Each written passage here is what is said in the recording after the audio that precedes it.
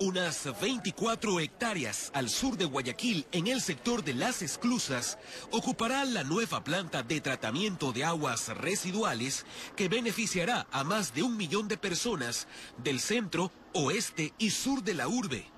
Va a mejorar también las aguas que se descargan al río Guayas cumpliendo con todas las normas ambientales.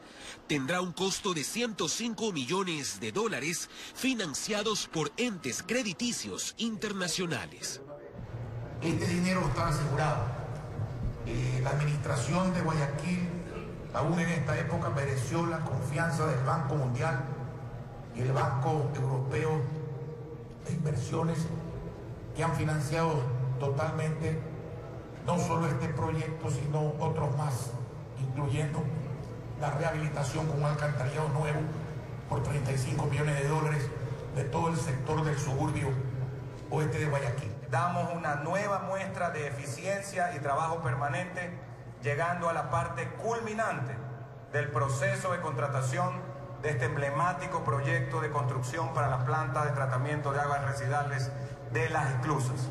Empresas y consorcios del más alto nivel internacional, especializadas, han participado durante estos meses en el proceso de licitación hasta junio se cumple el proceso de licitación y posterior contratación para empezar la obra en julio de este año. Se prevé que finalice el primer semestre del año 2019, informó Enrique Muñoz.